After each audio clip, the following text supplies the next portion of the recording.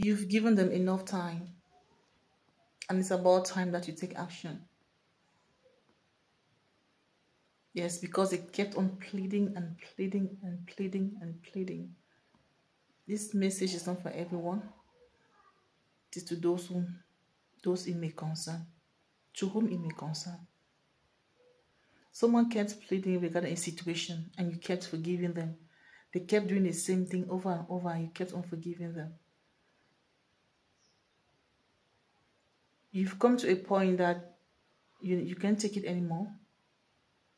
And it's only fair that you react to situations and not allowing someone to keep trampling on you, to keep deceiving you, to keep manipulating you over some situations. You've got to put a stop to it. Yes, you, you've got you you. It's time to put a stop to someone's manipulate manipulation in your life. You know, no, you know that they've been lying. You know they have been manipulating. You know that they have been deceptive.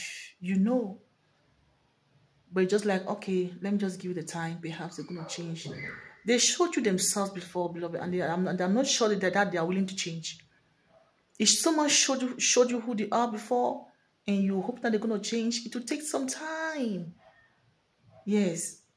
And it will cause them losing you for them to realize that they've been really so toxic in their own ways and decide to let things be. Beloved, the Lord said, put your foot on the ground. Be, be strong, be firm, do what you know is right to put a stop to the, to, the, to, to the abuse, to put a stop to that situation that you know that, you know, it's not doing you any good. Don't allow that to keep draining you, for you are much needed. Your people need you, your family needs you.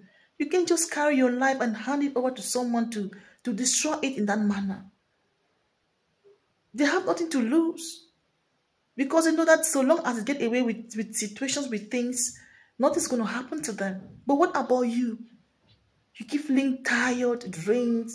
You keep feeling a certain way, yet you are still giving in to that situation. Why? Why? It's time that you speak out, being strong to make that decision and letting yourself free and freeing yourself. God is calling on you right now to you that you should free yourself from that from that abusive situation, that toxic situation. I know it's been hard. Yes, but you know, they can't keep coming at you like that. So wild, you know, so tough. And expect it to just be okay, all right about it. You've endured that enough. You've endured that enough, beloved. You've and I know that is you, some of you say, Oh my God, it's so hard. You don't know how you're going to come out of a situation. You don't know what you're going to be doing. The world's going to be coming uh, in, the, at, at you. It's not about the world, it's about you and God and about what God wants you to do in that situation. In setting yourself free. Glory to God. If God is calling on your attention on this matter, whatever you're going through that has that has kept you like you feel it feels like you you you can't let go you can do it. You can do it. Hallelujah. You can do it. You need peace in your life.